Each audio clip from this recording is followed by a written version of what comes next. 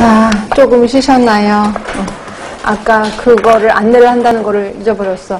여기도 저기 쪽지 시험 있습니다. 오늘 처음 오신 분이 있어서. 그래서 쪽지 시험 있어서 다음 주에 쪽시, 좀 일찍 오셔서 쪽지 시험 좀 다 풀으시고 네, 세 번째 강의할 때 답을 또 불러드릴 겁니다. 예, 그렇게 하고요.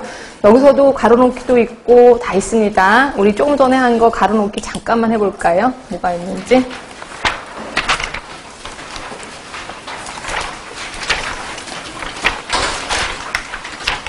가려놓기가 어딨냐면 저는 55쪽에 있습니다. 55쪽에 자 1번 보시면 이 사람 누구더라? 공중보건학위단 어쩌고저쩌고 누구예요? 윈슬로우 그 다음에 아스토니 제시한 겁니다. 처음에가 산업보건대수시기 뭐로? 산업화로 자 2차는 개인위생 중점 시기 3차는 치료의학 전성기입니다. 신의약품 개발로 무슨 질환이 급격히 감소됐지? 감염성 질환이 4차 단계가 어, 신공중보건 단계. 자, 앤더슨이 제시한 3대 수단, 교육, 행정, 그 다음에 법규. 예, 지역사회 분류입니다. 1번 보시면 구성원 상호 간의 교류가 빈번하대요. 자기네들끼리 친하다 그러네. 뭐죠? 대면 공동체.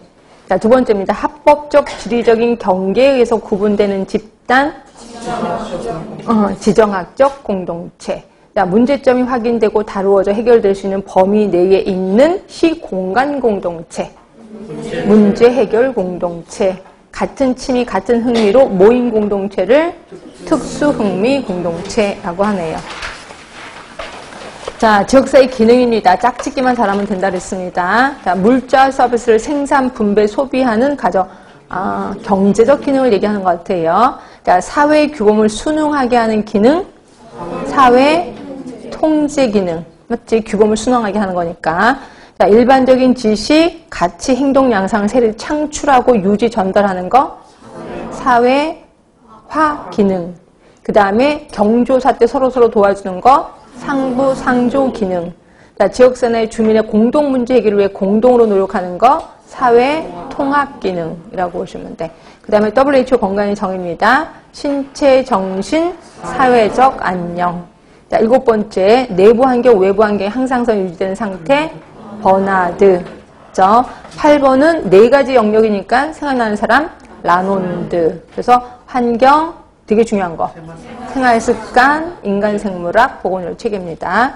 자, 9번, 숙주병원제 환경의 3요소가 평형을 이루어 생태학적 모형을 얘기하네요.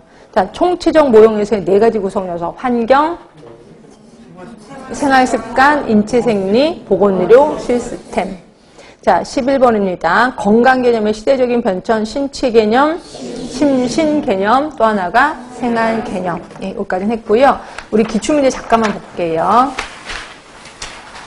어, 2018년도에는 그런 문제가 없었고, 그 예전 책 갖고 계신 분은 이 문제 예전 건 있긴 있는데 잘 못 찾겠으면 그냥 말로만 들으세요. 자, 8번 걸 볼 건데 라논드의 건강 결정 요인 중에 건강의 결정에 가장 큰 영향을 미치는 요인 보기 안 드릴게요. 못 보죠? 생활 습관. 네, 아실 거고요. 그 다음이 11번에 자 건강 모형에 대한 설명으로 올바른 거서 보건복지부 2015년도 문제입니다. 보건복지부 2015년도 문제.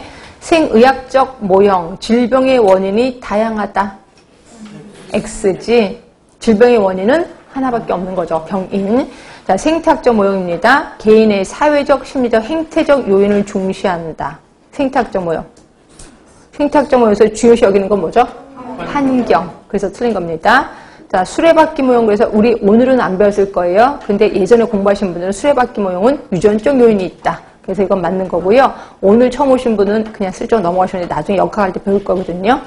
자, 그 다음에 총체적 모형하면은 어, 병인, 숙조, 환경 3요인으로 구성된다.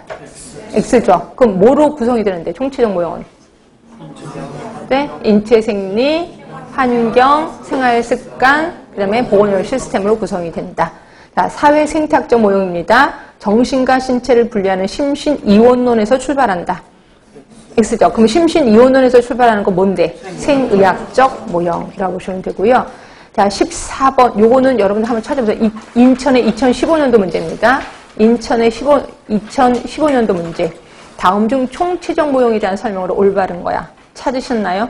예전체가 몇 번, 몇 번이세요? 12번. 예전 책은 12번이랍니다. 총체적 모형에 대한 설명으로 올바른 거. 자, 건강을 예방하기 위한 운동은 생활 습관에 속하지 않는다. 자, 운동이 생활 습관에 속할까, 안 할까? 속할 것 같아요. 그래서 틀린 거고요. 심리적 환경은 환경 요인에 속한다. 속할 것 같아요? 안 속할 것 같아요? 할 것 같아요? 안 속할 것 같아요? 네, 속해요. 그래서 답은 2번이고요. 자, 예방적 행위는 보건의료 체계에 속하지 않는다?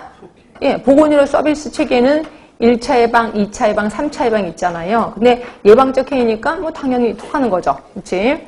자, 유전적 요인은 역학적 요인 중에 어디에 속할 것 같아요? 병인 아니고, 예, 숙주에 속합니다. 그러면 아까 심리적 환경이 환경요인에 속하는지 한번 확인할까요? 자, 우리 책 8쪽에 있습니다. 아까 우리 조금 전에 한 거예요.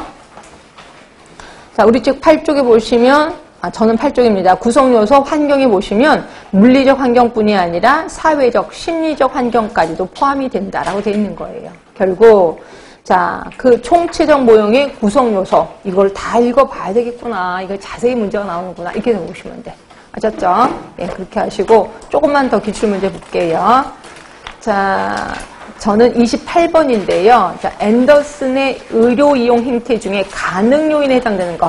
자, 여러분은 그냥 다 얘기해 주세요. 성, 연령, 결혼 상태, 소인 요인, 세대주의 직업, 소인 요인, 가구의 소득 재산, 이게 가능 요인, 질병에 대한 태도, 소인 요인. 그래서 답은 3번이 되는 거고요. 자, 29번 이거 너무 쉽다. 자, 숙주, 병인, 환경의 세 가지 요소의 상호 관계를 통해서 건강과 질병이 결정된다고 주장하는 모형, 생태학적 모형. 그죠? 그 다음에 조금만 더 해볼까 합니다. 어디를 할 거냐면, 그, 자, 66번인데, 제 책은 66번입니다. 팔슨이 정의한 건강 개념. 아까 팔슨, 팔슨.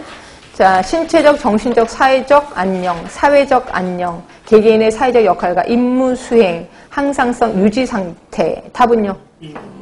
아까 팔슨 하면은 항상 인간관계 이런 게 했다고 했잖아요. 결국 인간관계 아니라 사회적 역할이란 관계가 있다 그랬거든요. 답은 3번이에요. 개개인의 사회적인 역할과 임무 수행. 그래서 아, 팔슨도 문제 나왔구나. 67번이에요. 윈슬로우의 공중보건 목적을 달성하기 위해서 구체적인 지역사회 노력. 기억하시죠? 여기에 속하지 않는 게 뭐냐 이거죠. 답은 1번인데 이게 1번이 왜 틀렸어?